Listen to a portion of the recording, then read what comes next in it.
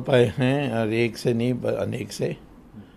आ, वो मंत्री हैं और मंत्री बनाए प्रधानमंत्री ने।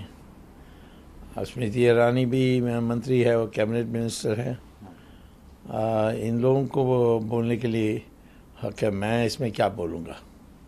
मैंने पहले ही कह दिया कि ये जो मीटू मूवमेंट का उसका मैं समर्थन करता हूँ। और मैं ये बुरा नहीं मानता हूँ कि बहुत दिनों के बाद आए। क्योंकि उस समय माहौल नहीं था। मुझे याद है मैंने भी कई पॉलिटिशियंस के बारे 20 साल पहले उठाया था सवाल जहाँ उन्होंने महिलाओं के साथ दुर्व्यवहार किया। तब सारे प्रेस ने मुझे कहा तुम बहुत पर्सनल होते हो। ये पर्सनल चीज़ों में मन नहीं जाना चाहिए। इसमें कोई एक मापदंड होनी चाहिए। जो भी कंप्लेंट देते हैं वो पहले नहीं दिया आज क्यों दे रहे हैं ये सवाल नहीं होना चाहिए। परिस्थिति बदल गई है, जहाँ लोग आज हिम्मत करते हैं। महिलाओं की इकोनॉमिक पोजीशन भी सुधर गई है। तो अब आखिर में मिनिस्टर हैं हमारी पार्टी के। कोई प्रवक्ता नहीं बोल रहा है।